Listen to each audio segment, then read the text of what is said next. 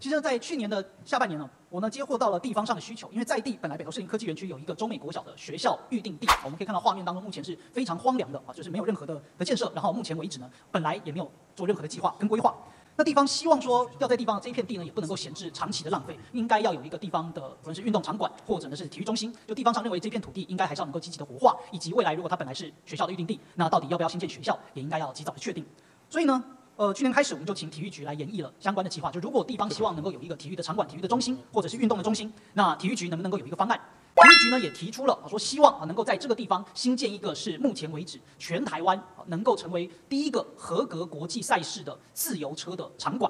那我们当然也认为非常的良好。可是呢，后来发现啊，这个计划呢，呃，一度遇到了卡关，因为土地的使用方式。为什么呢？因为如果要新建体育场馆，但因为它是学校用地，不能够先盖体育场啊，你必须要学校跟体育场同时新建啊。因为以前曾经遭监察院有意见过，所以必须要同时开工。可是最早教育局的回复是说啊，不好意思，因为我们也没有确定这个学校，所以就驳回了这个主张，驳回了这个可行的方案。那么另外还有两个可行的方案，就是都市计划变更。那我们就把学校用地变更，变更成为比如说体育的啊，或者其他的一些方式可以使用。所以教育局呢，就是请体育局来执行都市计划变更，但体育局觉得实在难行。另外一种方式就是把这个场馆委托给其他已经存在的学校的的学校来做管理。好，那这样子你就不用再新盖一间学校。所以体育局也提出这个建议，那可不可以用这个方式呢？是教育局说实在难行。所以跟市长报告，目前为止啊，三种方案。第一种呢是单纯的驳回延议。另外这两种呢，要细部的执行都相对困难，好，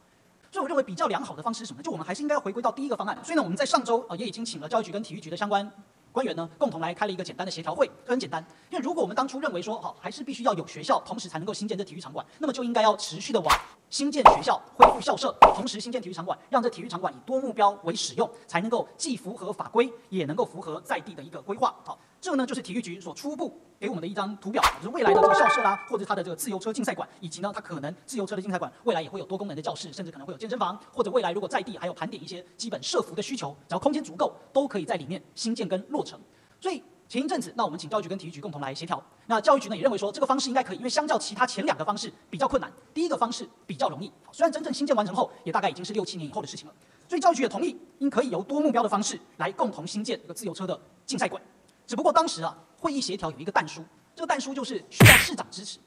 就是只要市长支持，那么教育局跟体育局就能够完全合作，来在我们中美地区啊目前的这块用地来新建自由车的竞赛场馆。第一个，我们当然就来问是否能够请市长能够来同意并且支持这个案子，然后我们是以多目标的使用新建学校来作为这个整个自由场馆的新建。在第三，确定了之后，希望体育局跟教育局能够在四月底之前把相关的规划好，然后来。提供给我，然后我们也能够跟地方好好的来做说明，未来这边就不再会是荒凉一片，好，已经有一个具体的场馆能够逐渐新建，来带动地方的相关活化。我可以请林哲宏副秘书长啊来统筹教育局、体育局这边啊，因为都是属于林副秘这边所业管的单位。那我想由辅机这边我们当呃副秘当 PM，我们一个月内研拟一个方案出来，来跟议员汇报。